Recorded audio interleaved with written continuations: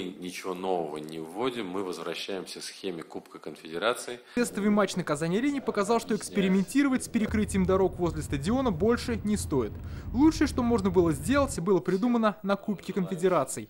Никаких пропусков в дни проведения чемпионата мира не будет. Соответственно, жители через вот тот заезд, если мы говорим о 69-м квартале, я имею в виду поворот Самирхана на Чистопольскую, а у других жителей, в принципе, не было проблем, они через внутриквартальные проезды имеют возможность ко всем своим домам подъехать ограничений не будет. В дни футбольных матчей за несколько часов до и после игр ограничат движение на ряде улиц, примыкающих к стадиону, то есть будет действовать последняя пешая миля.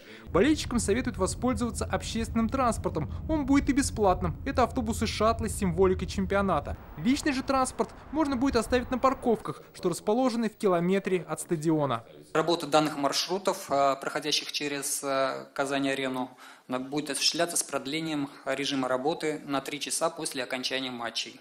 С 5 июня и на все время Мундиаля будет закрыта улица Сибгата Хакима возле центра семьи Казан. Здесь расположится парк болельщиков.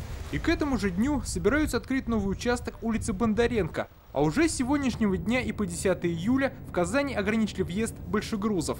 С 5 часов утра до часа следующего дня, это одного часа, введен запрет движения транспортных средств с разрешенной массой свыше 5 тонн и транспортных средств, осуществляющих перевозку опасных, крупногабаритных и тяжеловесных грузов. Нерегулярным автобусным перевозчикам, чтобы попасть в Казань, нужно будет оформить специальную заявку на сайте организаторов чемпионата мира. Все нюансы мундиальных транспортных изменений можно узнать на портале Казанского исполкома. Дмитрий Арин, Марат Зайдулин, ТНВ, Казань.